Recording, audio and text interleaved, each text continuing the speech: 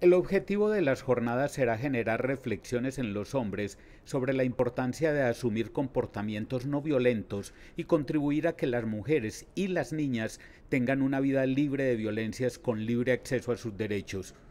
La Secretaría de las Mujeres llevará a lugares públicos reflexiones sobre masculinidades no violentas, porque es necesario vincular a los hombres en la construcción de una Medellín segura y con igualdad de oportunidades en la Comuna 4 en Aranjuez, dirigida a los hombres que acompañan a las mujeres que acuden al CISAM, además de eso a vendedores de tinto y a vigilantes del sector. Con ellos vamos a trabajar a partir de una herramienta que es el amorómetro, que permite trabajar sobre la empatía, el compromiso de los hombres con el cuidado y también su ternura. Una segunda jornada se realizará con el acompañamiento de la Secretaría de Movilidad. En ella se le explicará a los conductores cuáles son y cómo se puede prevenir las violencias basadas en género.